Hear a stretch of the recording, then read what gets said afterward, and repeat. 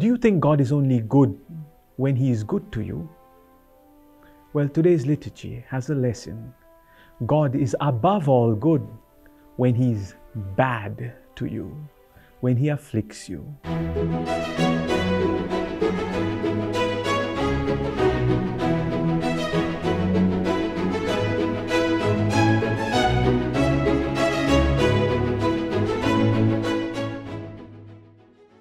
Salve Maria.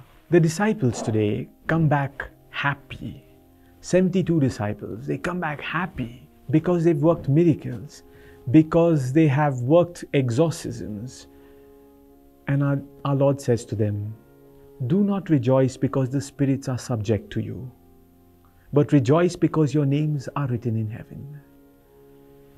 The disciples were happy because they had a power that no one else has. It's the greatest power on earth, the power over the evil spirits. It's a power not only above material objects, but a power over the spiritual world. And our Lord says that that's nothing. On the contrary, He says that they need to rejoice because their names are written in heaven. And then He continues I give you praise, Father, Lord of heaven and earth for although you have hidden these things from the wise and the learned, you have revealed them to the childlike. God hides the most important things, His greatest mysteries, His greatest graces. He hides them from those who consider themselves great. And He reveals them, He gives them to those who are like children, those who are humble. That's why God is good to us when He afflicts us because our human pride is terrible. Our worst enemy is our pride. We think we are something great, and God is so good. God is so good that He afflicts us, that He sends us trials, temptations, problems. He lets us suffer a series of difficulties and why does He do that? So that we become humble like little children. Our Lord continues No one knows the Son except the Father, and no one knows who the Father is except the Son, and anyone to whom the Son wishes to reveal Him. Jesus reveals His Father to those who are humble. He reveals His Father to us when we are humbled. He visits us in trials. The psalm today is fantastic. Psalm 119. It is good for me that I have been afflicted, that I may learn your statutes. What? It's good that I was afflicted. Yes, it's good that I am afflicted because I learn wisdom when I am afflicted. And in your faithfulness, you have afflicted me. God, when He afflicts us, is faithful to us.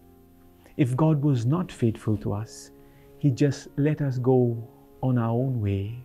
He let us stray along the paths of evil, the paths of our own misery, the paths that our own pride leads us to.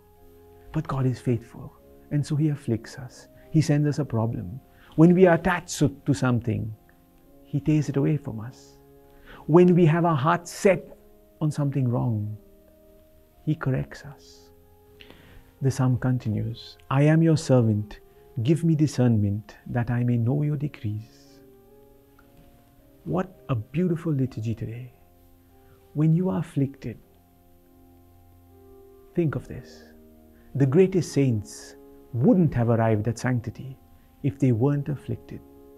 St. Paul became St. Paul because he fell from his horse, from his high horse.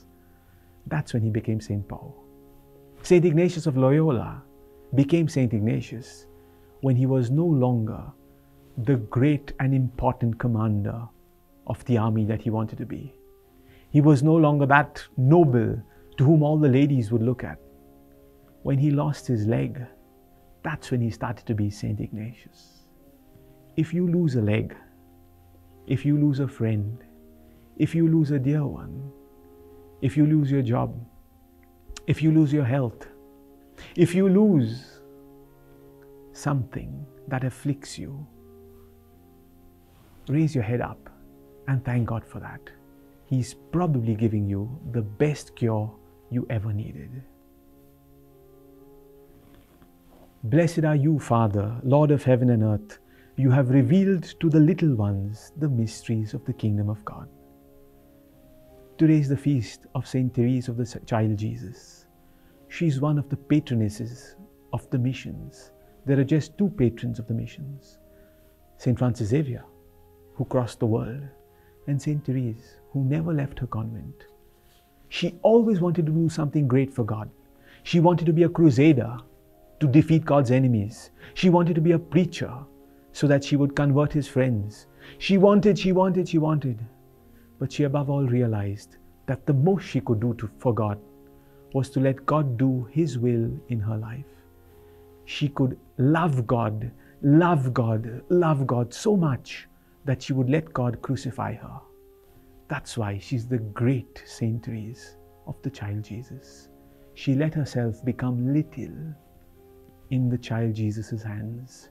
She's the great Saint Therese. Pray for me. I'll pray for you too. To understand this great lesson that God is good to us above all when He afflicts us. The Lord be with you. And may Almighty God bless you, the Father, the Son, and the Holy Spirit. Salve Maria. If you like this video, press the like button and leave a comment below. Don't forget to subscribe to the channel and activate the notification bell so you won't miss any of our videos.